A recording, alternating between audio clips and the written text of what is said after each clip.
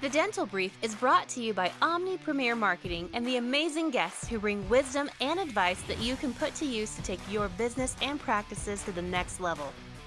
Find us on Facebook and join the conversation. Get ready to grow because we are kicking off the next episode in three, two, one. Hello, everyone. Welcome to another episode of the Dental Brief. So excited for our guest today. He's in the middle of a big move, so glad that he's taken the time, and, and, everyone knows how much we appreciate it when dentists take their time to share in the, the program. Dr. Zach Allmand, say hello to everyone. Hi, how are you guys doing? Hey, we're great. We're excited, like I said, that you're here. Same question that I ask every dentist that comes on this program. How'd you get into dentistry? What made you become a dentist? So I decided that I wanted to be a dentist when I was six years old. And I told my mom that, and she started crying because she hated the dentist. But honestly, what got me into dentistry was the Calvin and Hobbes comic books and the dentist waiting room. Like I just I loved going to my dentist appointment and reading the comics and I was like, oh, he seems like a pretty fun guy and people like him, so I think I'm going to do that.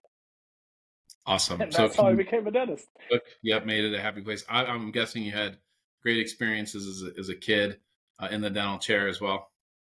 Uh, yes and no. We moved around a little bit, and so my first dentist was amazing. My second dentist ended up getting arrested in a drug sting. And hmm. then my third dentist immediately after him said, Oh, hey, you have 18 cavities because the last dentist didn't tell me anything and I didn't know what I was doing.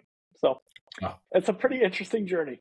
Yeah, that's three very different experiences. So, how long have you been practicing? How, how, long, how long ago did you open your practice? So I've been a dentist since 2005. I did an Air Force HPSP scholarship. So I was in the uh, Air Force for six years, and then came out did a a stint with two short associateships over the course of two years, and then we bought our practice, myself and my partner, at the end of 2013. We actually just celebrated our 10 year anniversary on December 6th. Oh, that's awesome. That's uh, congratulations on that. Thank you for Thank your you. service too. Um, oh, you're welcome I think our audience appreciates that. So tell me what, you know, in, in your practice and your travels, we're going to get into your company here in a minute, which is Apex uh, Payment Solutions.com. We'll talk about that more towards the end. And even the, the starting this company and talking to dentists all over the country, what are some of the challenges that you see that, that dentists are facing today? Well, honestly, you know, the biggest challenge that I've seen for my practice has been overhead control. And since the inception of our practice, you know, we bought a practice that was about a 74% overhead. It was a good producing practice, but the overhead was high, which kind of led to the formation of Apex, uh, just trying to drive down overhead. But ever since COVID, with staffing issues and supply costs going up, just balancing profitability, what I like to call the breathing room in the office. You know, you have the floor, which is your overhead, and the ceiling, is, which is your production collections.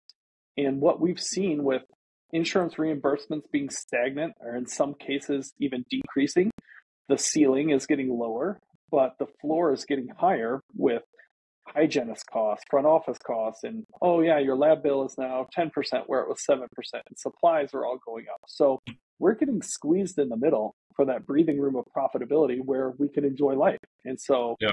that's the biggest issue that I'm seeing and you know some areas it looks like it may be slowing down in other areas it seems like maybe costs are going to go up. What are some what can you do to combat these? What are what are let's go through five things. Let's go through three things right now that you can do to start cutting some uh, cost or at least uh, lowering them. Yeah so just a little background. We took that that practice our practice from a 72% overhead to we now hover between a 37 and a 41% overhead. We've done that wow. for the past two and a half years we used to be a little bit lower, but like I said, COVID costs going up. So we're really proud of that. But the for us, there are, there have been three major things that have impacted, had a huge impact on our overhead. Honestly, the first and most important is in-house dentistry, doing same-day dentistry with a CEREC. We actually just got our end of year report from our accountant. Our lab bill is 0.5% of our overhead. I, am sorry, 0.5% of our collections. So we have really been able to leverage same day dentistry to drive down our lab costs, but also decrease our chair time costs because we're not following up with more appointments, deliveries, not having to deal with temporaries, and impression material. Yes, there was a, a bigger upfront cost that we absorbed back in 2016 when we bought the CEREC. Sure. But now that it's paid off, and you know, I'm doing crowns now for a cost of about $34 a block, our costs have really gone down. And leveraging that into the implant space and, and driving down costs in that way has just been really impactful. Yeah. To kind of parlay that, I think the second best thing you can do is just implement digital dentistry, not only with same day dentistry, but also with 3D printing, utilizing CBCTs and big screen TVs in the operatories. So that way you can use digital dentistry to educate patients, to also have a better picture of exactly what's going on wrong with the patient, which can drive increases in production, collections, and case acceptance. Right. So, and then the third, the biggest thing that I see outside of actual chairside dentistry is staffing costs. Where how can we how can we minimize those in this ever increasing you know landscape? Is just being efficient with your team, not being overstaffed, making sure that everybody is working efficiently, doing maximizing their time in the dental office and doing as many tasks as we can possibly do. And through that, like leveraging automation of things such as payments and payment plans and and insurance verification. How can we like take that off of the team members that are physically present in the office so that way things can be occurring automatically freeing them up to do more tasks? You know this is this literally happened last night true story. I was watching the end of a movie or a show or something my wife that i had lost interest in and i was scrolling through my phone nobody's ever guilty of of that right but it's it's a it's a real thing. And so, you know, I was on Reddit and I'm just scrolling through, and all of a sudden I saw this thing that caught my eye. And what it was was, was a computer monitor, and was, you could kind of see a person's face on it. And it was at a front desk, and it said, "This is my dental office. I checked in today, and instead of having a person behind the desk like they normally did, it was a woman in the Philippines on video who checked me in." He goes, shockingly, it was a really great experience. She was really nice and took care of everything. Yeah. And, and it was obviously this practice, either one, trying to cut labor cost, or two, trying to fill a staffing void, right? So you could do something like that to try to cut labor cost, or because you simply don't have anyone else to put there. That would make sense. Right. I don't know that I would recommend that to anybody. I would love to talk dentist who was there. So if you're listening, please give us a call. I'd love to, to interview you about that. I know that people use outsourcing for back end for insurance verification for a, a lot of different things. I kind of feel like that might be the last thing that you should try to cut, yep. right? Yeah, uh, exactly. Things that are easy cuts. So, what are a couple of things that you could do that you could look at right now? A balance sheet. You could look at your books and go, "Hey, this is something we could cut and save money on today." Well, so like, let's talk about taking that to a lesser degree. Is leveraging patient reminder services or patient engagement platforms for updating medical insurance forms, new patient intake forms, review generation appointment reminders, right? All of that can happen automatically so your team is not on the on the phone all the time. Payments is a huge uh, area where you can immediately and effectively cut your overhead in in a true fashion without losing any um, functionality and in most cases especially working with apex increasing your functionality by implementing in-office payment plans that are automated that your front office doesn't have to sit there and call people to take payments for. Um, implementing a website payment page so that way when you send out invoices patients can either scan a qr code or go to a website and make a payment right there whether it's 10 o'clock at night or 2 a.m you know whatever it's, we do this for all of our services our gas bill our mortgage everything why aren't we doing this in dentistry sure um, anything that you can do to take that the manpower hours out of it, it's like you're you're decreasing your costs inherently. And then, like I said, look at you know what we do. Year end review is really important. I feel for supply costs, supply costs, and lab costs. Like, are you reevaluating your relationships?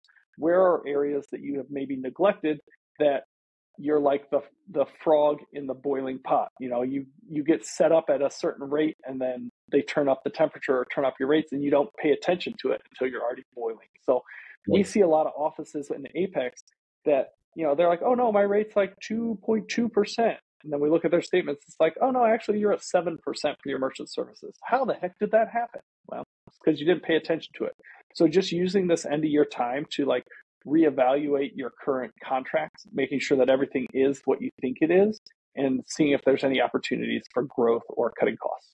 Yep, that makes sense. So let's jump into Apex a minute. Let's talk about Apex Payment Solutions and how sure. you're helping dentists across the planet with this platform. Tell me, you know, in, in a couple minutes or less, what is it, and then and how does it help? Sure. So the thirty thousand foot view is we are a dental focused merchant services company, started by me, and we started it in two thousand. Uh, when when I bought my practice and I started looking at our overhead, and I just immediately saw companies saying, "Oh, well, we can beat this rate. We can beat the other guy. We can beat the other guy." And I'm like, "How the heck do you know? You haven't even seen my statements." So right. I knew there was some there's a huge level of profitability in there that could be cut out. And so what what I did is over the uh, the next two years, we implemented. I basically started a merchant services company and said, "Hey, I'm going to do this for dentists. I'm going to do this for my friends and my colleagues, people I graduated with, to, you know, let's save my colleagues some money and gives me something to talk to them about, stay in touch with people on, and maybe we can increase their functionality. And then we added a platform based off of the needs in my office. Talked about automated payment plans. Well, that came from me paying my front office manager $35 an hour to come in on a Friday to call her Rolodex of patients who she had on payment plans to try and get payments. Well, and on that Rolodex was also their credit card information that somebody could have walked into our office and just stolen, right? So so I was like, okay, let's make a platform where we can set up these payment plans. They're automatically calculated. They automatically hit the credit card on whatever day you want to set up for the month. So we're getting paid every time, every day without anybody else coming into the office. And I don't need to pay her four hours on a Friday that she doesn't need to be there.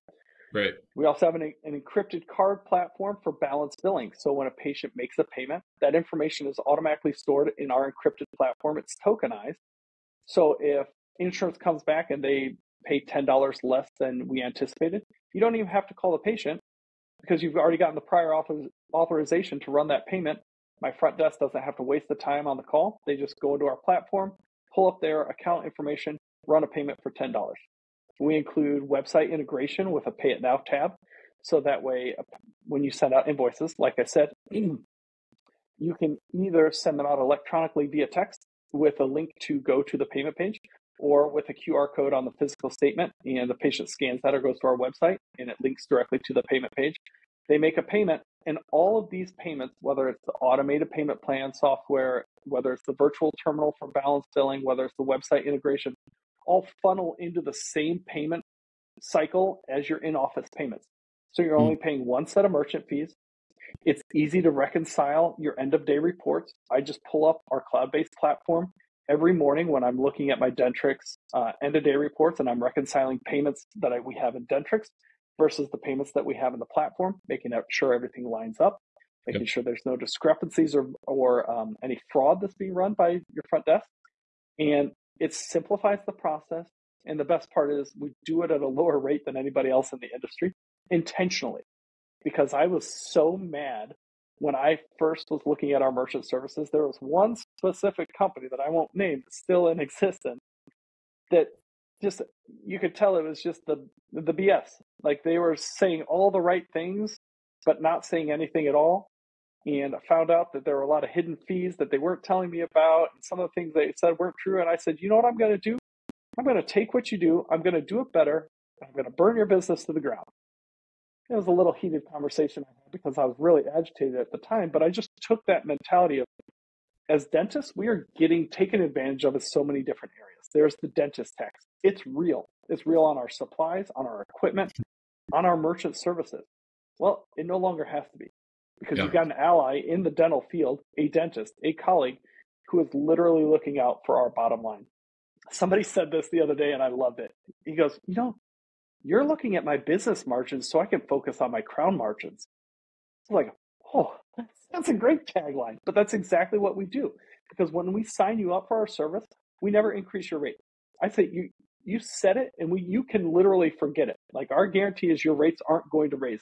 So that way that's at least one component of your business you don't have to reevaluate year over year. You don't have to worry about it. So that way you can focus more on CE. You can do this. And the money we're saving you, like another example is we had a client who called up. He was mad he's like, "There's no way you're saving me a thousand dollars a month. How is that even possible?" And I went through it, and we are. He goes, "That's my CBCT payment." I basically just put a new CBCT machine in my office for free. I was like, yeah, and that's going to increase your profitability because you're going to find more dentistry to do. Right. Yeah. And I mean, add the rule of seven on that, you put that money away. I mean, that you could equal, you know, retiring three months earlier, six months earlier, a year earlier. It could be the difference between, you know, putting one kid through school and two. So that's yeah. awesome. To learn more, what's the best thing to do? Check out apexsolutions.com.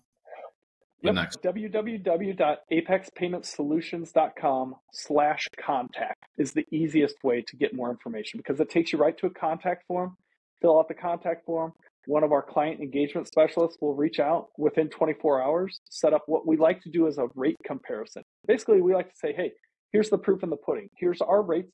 Here's how they stack up to what you're being what you're currently being charged. I don't even yep. need to know what you're being charged before I tell you our rates.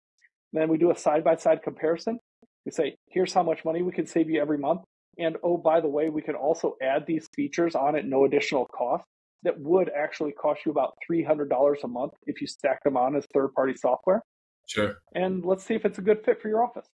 Yeah, that's awesome. ApexPaymentSolutions.com. Dr. Allmand, thank you so much for coming on and sharing today. We appreciate you. Thank you for your time.